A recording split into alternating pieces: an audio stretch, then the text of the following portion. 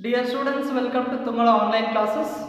Today we'll continue with the level 2 questions and uh, I hope you have studied well once again the theory part. So and there is a need of a lot of knowledge of the theory here so that we can solve, we can crack all the answers for all these questions now. Right? So what are the questions? Let us go through the first one. See here, what is genophore?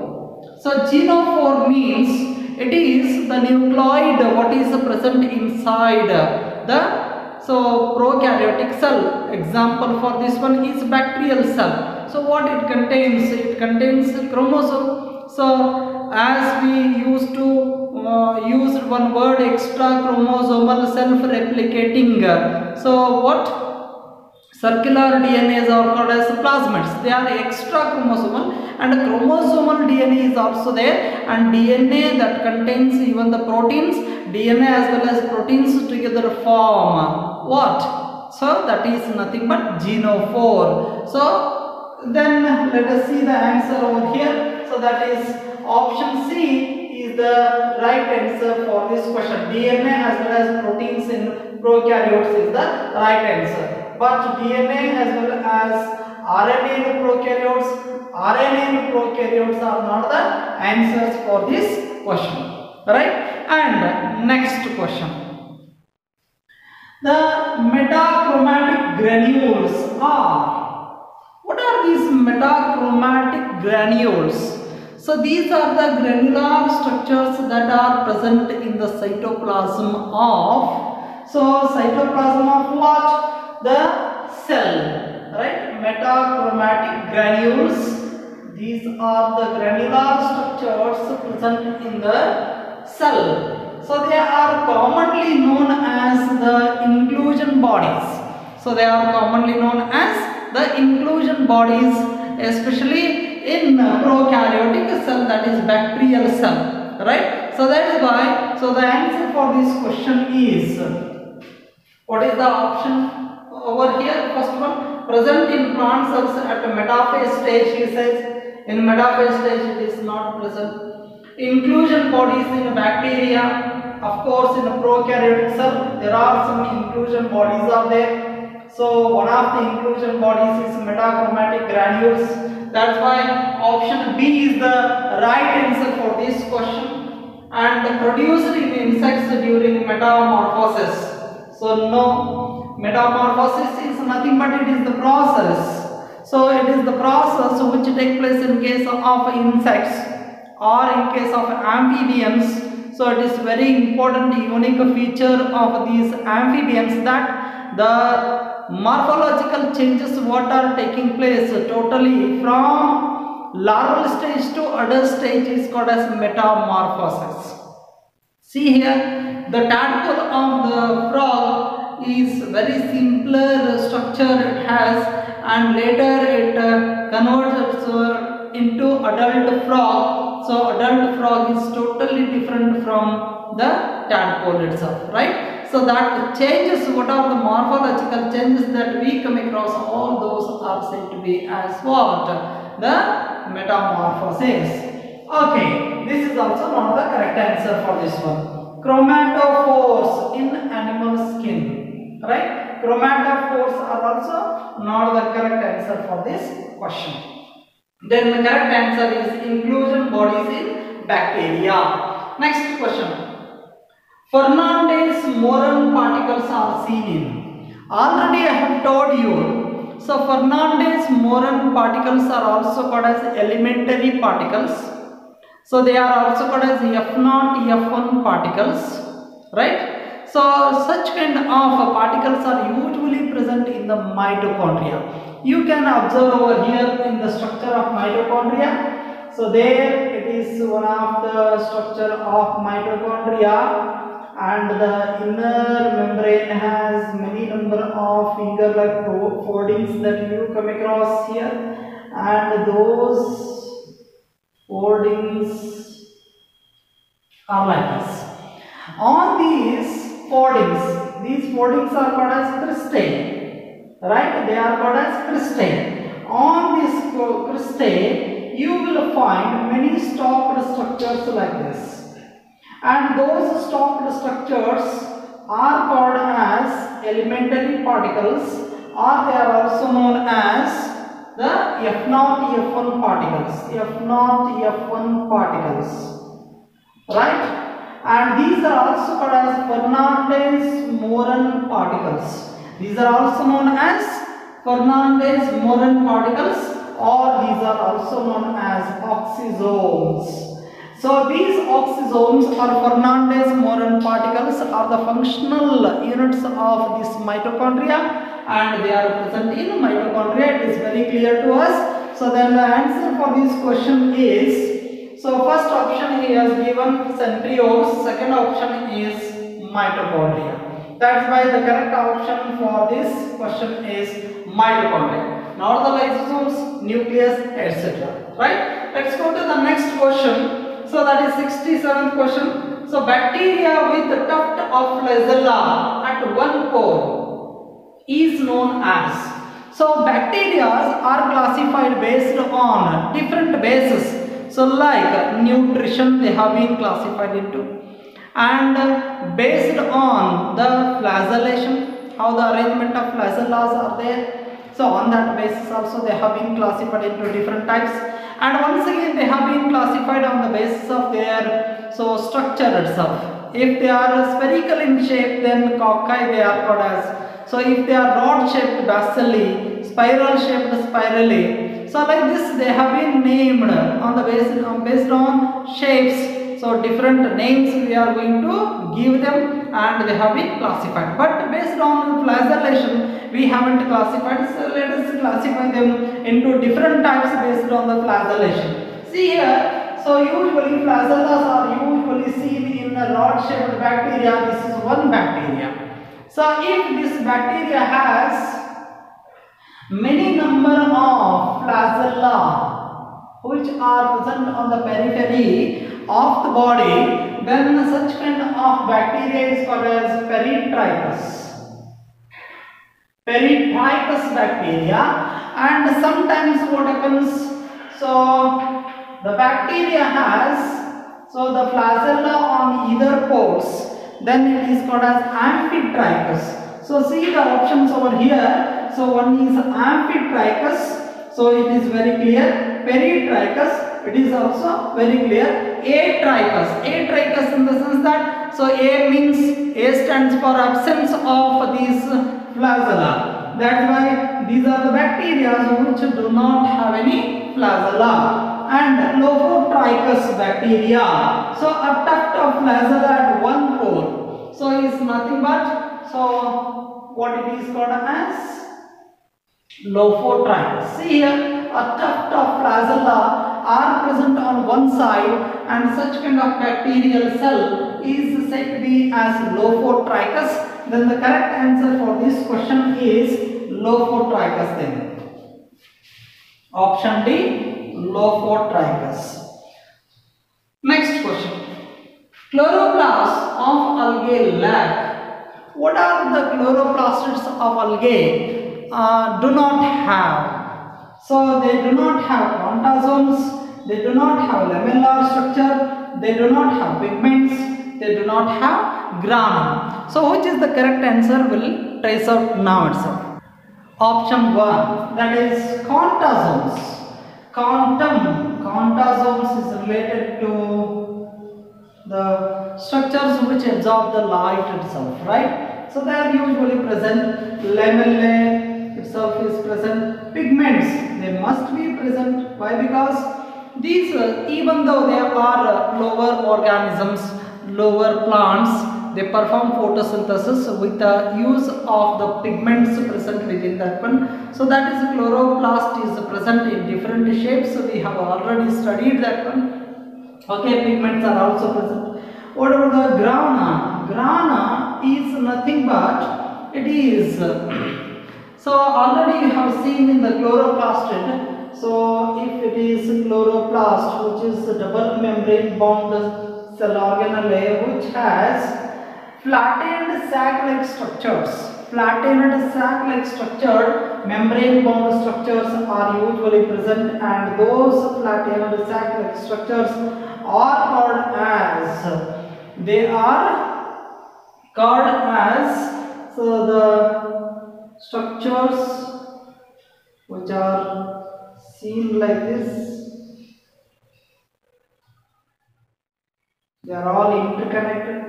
This one set of flat-ended membrane bound sac-like structures are called as grana right? Gran these granum are usually absent there since these are lower organisms. That's why the correct answer for this one is grana. The technique is used in separating proteins from other cell fractions. See here if a plenty of cells are collected in one test tube or in any one of the petri plate or somewhere else so how to separate them? How to separate them based on their so molecular weight, right? So they have been separated on the basis of their molecular weight. So by one of the techniques called as what is the technique called as centrifugation?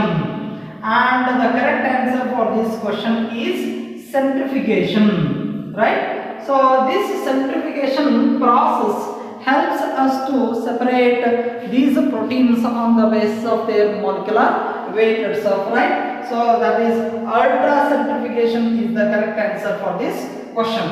So chromatography, you will study in uh, next classes in practical you will find there the separation of what take place, pigments take place. So electrophoresis you will study, autoradiography you will study in uh, so one of the techniques in which so identification of uh, the uh, father as well as mother as well as child. So that is DNA fingerprinting technique. So there we use autoradiography itself. Electrophoresis is also used there in biotechnology right? You will study them in detailed manner in PUC too right? The correct answer for this question is ultra ultracentrifugation Next question. Bacteria bearing a tuft of flagella at both the poles are as. See here it is very simple. I had shown you this is one bacteria, this is one flagella, this is one flagella. So if flagella present on either poles then it is called as amphitrichous in the same way. So single flagella may be present or a tuft flagella may be present on either poles and such kind of bacteria are termed as amphitrichous. Then the correct answer for this question is amphitrichous is the correct answer for this question. Okay, next one. Microfibrils are composed of. What are these microfibrils? These are the structures which are present in the cellulose, so which are arranged one above the other. So the um, the method of arrangement itself is accretion is there, interception is there. So all those things that I have explained whenever I was dealing with the cell wall. This is one cell wall material that deposits itself. So on the middle. Lamella so as to form the primary wall, secondary wall like this. So these microfibrils are usually consisting of so uh, what cellulose, cellulose chains itself. Hundreds of hundreds of cellulose chains it contains and it is nothing but so cellulose chains microfibrils are composed of what? Cellulose itself not hemicellulose peptidoglycan peptidoglycan itself is one of the cell wall material of the bacteria. Lignin is also the cell wall material in case of a secondary wall there the deposition of lignin that take place on the secondary wall of the plant cell and that process itself is called as the lignification okay So then the correct answer for this question is cellulose itself. Why is capsule advantageous to bacterium? Already we know and we have classified the bacteria into two types based on the presence or absence of capsule, right? So a slimy layer that are present on the outer part of the bacterium is called as capsule and this capsule if it is present then it is called as then that kind of bacterium with the capsule is called as capsulated bacteria. And if it is absent then so uh, non-capsulated bacteria. They have been classified into. So usually capsulated bacteria is virulent in nature means it causes diseases in other organisms if capsule is absent, they are commonly known as non-virulent bacteria. Why they are called so? Eh, because they do not cause any disease to other organisms. So based on that, so there are two types of bacteria. See here, so if capsule is there, then what kind of advantage is there for these kind of bacteria is the question. See here, so if the capsule is there, it is advantageous. Why? Because it protects the bacterial cell from the desiccation. Means if watery material or the watery fluid in which the bacteria are present, so it will be always wet so that they can survive themselves and divide themselves, multiply themselves. But if it is not moist, so that moment these bacteria are surviving because of the presence of this so capsule. Hence, so correct answer for this question. Let us go through all the options. Research for the correct answer. It provides means of locomotion. It is not meant specially for locomotion. In bacterial cell, usually the locomotory organs are flagellas. Right? Already we know, we know it better. It allows bacterium to hide from host immune system. Now, so if the bacteria is present inside one cell, right? Inside one cell and that cell is called as host cell, right? So in that host cell, so uh, what happens? The immune power will be there and that immunity doesn't recognize this bacteria in presence of this capsule it says but it is not the correct answer for this question. Then it allows the bacterium to attach to the surface right? It doesn't allow uh, to attach to the surface. It protects the bacterium from the desiccation right? So this is the correct answer for this question. Next question. Chromatin is made up of what is chromatin is made up of? Chromatin material is made up of.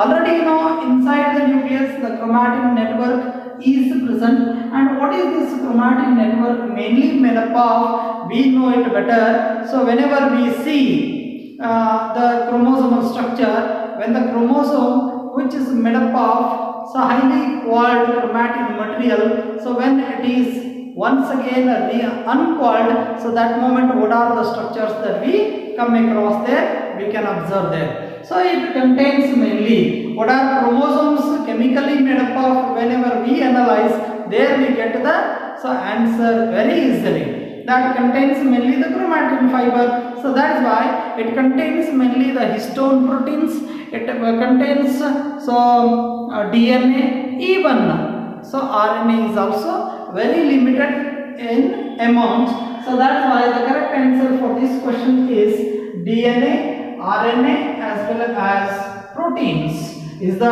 correct answer for this question. Next one. What will be the number of histone molecules in a chromatin fiber having 50 nucleosome there is a need of a diagram over here then you can understand you can count the number of uh, histones over here in each nucleosome as well as totally 50 number of nucleosomes now right so that's why let us go through the diagram of the same Already I have explained what is nucleosome model of DNA. What is nucleosome model of DNA? If suppose is the chromosomal structure and this chromosome is made up of the chromatin material. See here this is chromatin material. So which coils used to form coiled thread-like structures called as called thread-like structures called as chromosomes. These chromosomes whenever we uncoil that moment will come to know. So there a beaded like appearance that we come uh, across over here and that beaded like appearance that mainly consisting of the histone proteins what are surrounded by the DNA. The histone proteins what are surrounded by the DNA and each unit, each unit of a so histone is surrounded by DNA is called as nucleosome. This single one is called as nucleosome. And this model of DNA is called as nucleosome model of DNA. Already I have told you, so there are four types of histone proteins are there. So they will be like this and behind this one, once again there we come across the histone proteins, right? So like this. How many histone proteins are there? So totally four types are there but totally eight number. Eight number of histone proteins will be there. This is 1, this is 2, this is 3, this is 4. This is called as H2A, H2B and H3 as well as H4 are the four histone proteins that we come across. And four types of histone proteins they are eight in number. This is the only one set that we are uh, looking now. Behind this one one more set will be there. Totally in one nucleosome eight number of histones will be there. And each histone set itself is called as octamer octamer already I have explained in theory in detailed way. So this is called as octamer in each nucleosome one octamer is there. Then total number of the histone proteins present in 50 nucleosomes he is asking. So then automatically 50 into 8 totally. So 400 number of what are present over here 400 number of histones are present in 50 number of what 50 number of nucleosomes. Why? Because each nucleosome has 8 number of histone proteins. Right? So that's why the correct answer for this question is See here he has given the number over here. What will be the number of histone protein molecules in 50 nucleosome? In the options you can see there is 400 number of histone proteins are there. Right? Next question. Which of the following statements regarding the mitochondria is incorrect? So we'll have to identify the incorrect statement regarding the mitochondria over here. So first option is outer membrane is permeable to monomers of carbohydrates, fats as well as proteins. Of course, outer membrane of the mitochondria, so it is usually permeable one. It is permeable one.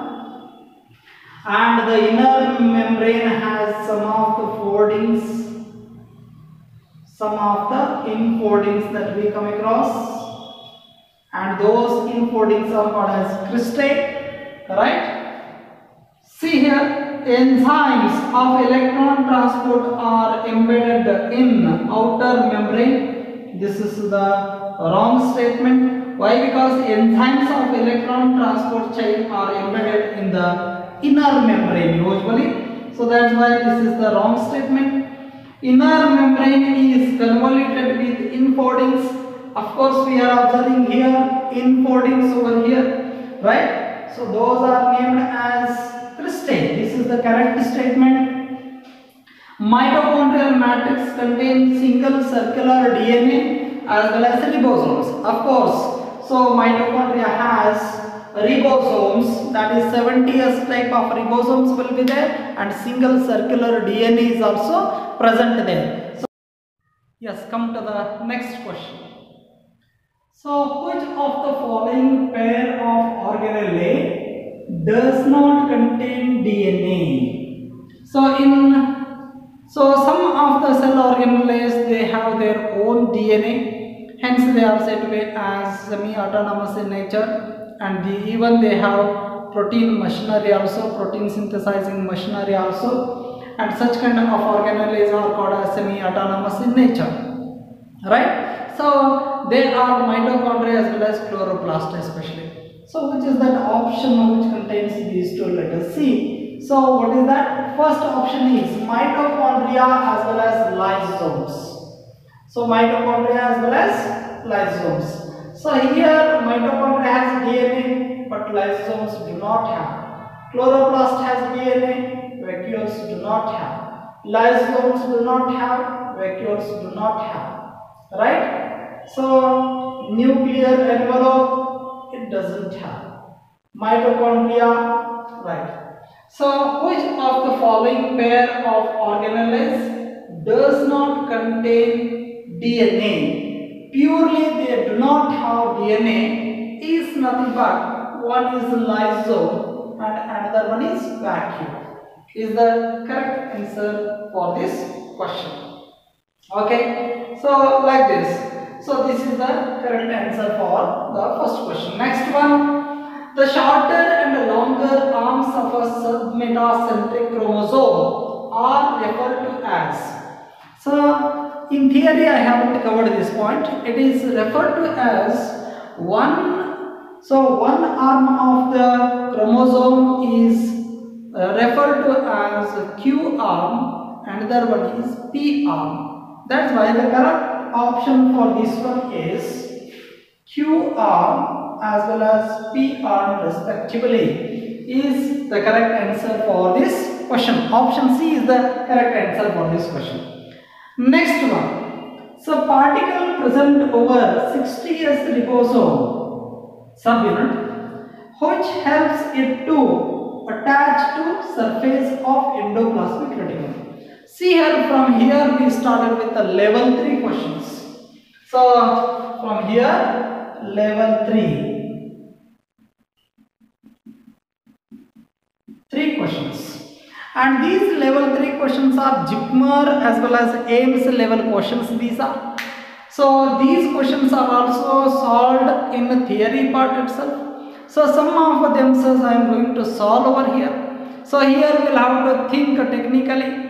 So then assertion as well as reason type of questions are easily analyzed and solved. Right? So carefully you read all those questions. First question is easier. I have already covered that one. Let us see the first question. Particle present over 60S ribosome subunit which help it to attach to surface of endoplasmic reticulum. This is the fact what you know it better. So this is the ribosomal subunits. So they are attached to what? They are attached to the outer membrane of the endoplasmic reticulum. This is ER endoplasmic reticulum. Especially this endoplasmic reticulum is called as rough endoplasmic reticulum. Why? Because on its outer surface, what is attached? Ribosomes are attached. They are attached with the help of a particle. That is nothing but a point, a material. That is a protein. That is called as surface receptor protein. It is called as what it is called as so ribophorin it is also called as surface receptor protein it is also known as options we can see over here so the, that is ribophorin and srp receptor and srp is a single one translocon is there so these are not the correct answer ribophorin 1 and 2 he has to mention but so here it is also of course no doubt it is also right answer. SRP is also right answer we can say. right So SRP is the right answer we can say now. Next question.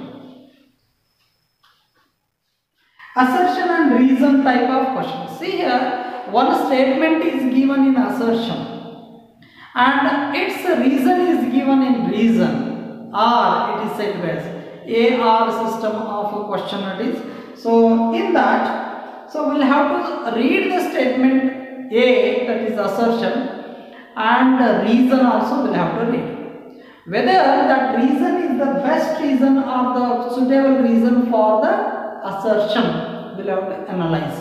So here four statements, four answers are given over here. One is both A and R are the correct statements. And R explains A is the first option which is given over here. In your material you can observe that one. Right? One thing. And second one, A option and R are true but R does not explain A. A is not explained by R, right? Option number 2 it is. And option number 3 that is A is true but R is false. And option number D both A and R are false over here. So these are the type of uh, answers that is uh, options are given over here I haven't written the options over here but still you can refer the so material and correct the answer. I am going to come so say so whether A and R are correct or not. So which is wrong which is correct and whether R is explaining A or not. This much I am going to explain over here. Assertion Mitochondria and chloroplast are semi-autonomous organelles. Of course, it is 100% right since they have their own DNA, RNA as well as protein synthesizing machinery. They are said to semi-autonomous cell organelle. It is a right statement.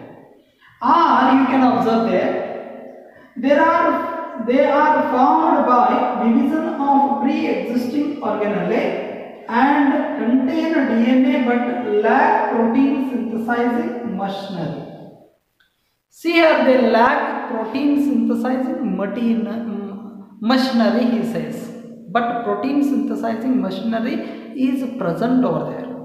Right? That's why R is wrong. Why? Because it contains its own DNA it is right of course. But protein synthesizing machinery is absent he says. So that's why R is wrong. So A is right R is wrong. Right? So that's why, you pick up the answer from the uh, options itself, right? And the next question. Three of the following statements regarding cell organelle are correct while one is wrong. And identify the wrong statement they say. What are the statements over here? Let us see. Lysosomes are double membrane bound vesicles See here, lysosomes are single membrane bound vesicles, hence it is uh, the wrong statement. We identified initially. Then A is the correct answer for this question. Next option, endoplasmic reticulum consists of a network of membranous tubules and helps in transport, synthesis and secretion. Of course it is right. And leucoplasts are bound by two membranes, lack pigments but contain their own DNA as well as protein synthesizing machinery. Of course. Next one, is spherosomes are single membrane bound are associated with synthesis storage of lipids. Of course, it is also right. The wrong statement itself is double membrane bound cell organelle that is lysosome he said that is the wrong statement. That's why this is the correct answer for this question. Okay. Next question. Eukaryotic cells have the ability to adopt a variety of shapes. Of course, it can change its shape. So, variety of shapes and carry out directed movements. In case of amoeba, it can change its shape and it can move in its directed so what? Movement. It can uh, it can follow itself right? So that is eukaryotic cell. Amoeba itself is eukaryotic cell. It is applied on that one. What is the reason for that? There are three principal types of protein filaments. Microfilaments microtubules intermediate filaments constitute cytoskeleton of course because of this cytoskeleton only eukaryotic cell can adapt themselves a variety of shapes and carry out directed movements. Both A as well as R are right over here. Both the statements are right over here. And even R is explaining A. Then option 1 is correct answer for this question. Next one, very important. P and Q, two statements are given over there. Which is right, which is wrong, we'll have to identify. Whether both are right or wrong, let us see. The number of mitochondria in a cell do not correspond to the function of the cell. It corresponds to the function of the cell. The number of mitochondria, if they are more, more energy is produced there. More energy is required in some cells as to perform some more functions. That's why in those cells, metabolically active cells, uh, more energy is required. So that's why they are usually more in number in those cells. That's why option that is a, a statement P is wrong. Wrong. What about the Q? Mitochondria are both common to plant as well as animals. Of course, mitochondria are present in both plants as well as animal cells. Right? So this is also right. So then here statement P is wrong, Q is right. So you pick up that answer from your material. Right? So by this we finished all the number of questions. So I have chosen many number of questions from level 1, level 2 as well as level 3 and all other questions you have to solve on yourselves. So majority of the questions that is uh, number 82 number of questions I have solved out of 162. So that's why remaining one you have to solve on your own. Thank you.